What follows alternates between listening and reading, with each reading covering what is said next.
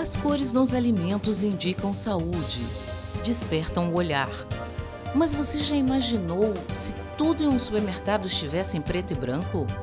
Como você faria para decidir o que comprar? Os rótulos são a cor dos produtos industrializados. É neles que você descobre o que está consumindo. Mas quem tem o hábito de ler os rótulos e o que está oculto dentro deles? Tem rótulos que em português não, não tem a composição correta, mas se tu lê em inglês aparece. E aqui tem bastante sal e tem bastante açúcar. E aí pega um diabético. Nesta semana no TVE Repórter, você vai saber como a leitura das embalagens pode evitar problemas sérios de saúde.